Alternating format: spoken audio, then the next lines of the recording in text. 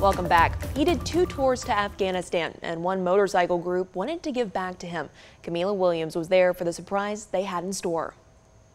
He lost both his legs in Afghanistan and didn't know what was next. Now he's ready to ride his new wheels with purpose. One in 2009, 2010, and then uh, 2011. 2011 is when I was hit by an IED. He's a combat wounded veteran and became a double amputee. And this motorcycle club unveiled something worth kicking your stand up for.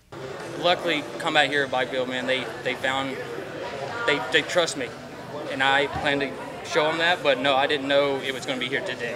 Rolling Thunder Georgia 3 worked with Combat Hero Bike Build to make a custom motorcycle bike for Tony Mullis. Terry Sharp with Combat Hero Bike Build says it took about seven months to create. We've done this uh, since 2014. Tony is a well-deserved veteran, a U.S. Marine Corps veteran, uh, just a just a great young man, and it just feels great to do this kind of work.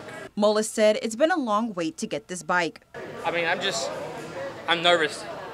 I'm nervous now, but I, I want to ride. I just want to get on the road and ride and feel the wind in my hair. Rusty Stripling with Rolling Thunder says he's glad they're able to help a veteran. Please support Rolling Thunder and your veterans because without the veterans, we don't get to do any of the things that we do.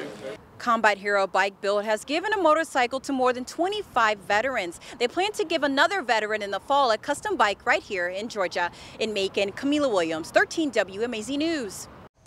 If you or someone you know would like to donate a motorcycle to a wounded veteran for customization, you can go to combatheroBikeBuild.org to learn more.